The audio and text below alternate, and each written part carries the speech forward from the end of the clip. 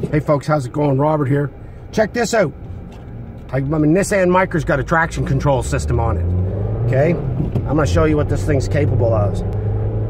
I'm doing 55 kilometers an hour. Watch. I can't make this car go into a spin no matter what I do. I can't make it lose control. I can't lose the back end no matter what I do. You hear that noise? That's a traction control system on it. So, I'm gonna do the same thing. I take the traction control off.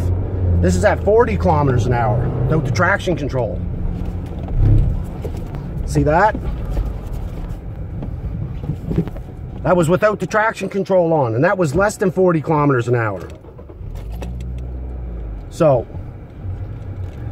I'll tell you, I've tested it in all different types of ice conditions. It's unbelievable. I, I like, look, there's, there's 50. I can't make that front end come around no matter what I do, or that RSN come around. Can't make it do it. And I'm going out of my way to try to get it to do it. Very, very impressed with the traction control system on these Micras. Nissan, I don't know if it's all this way, but if not, they should all be built this way. Anywho, I'm out of here. You guys have a good day.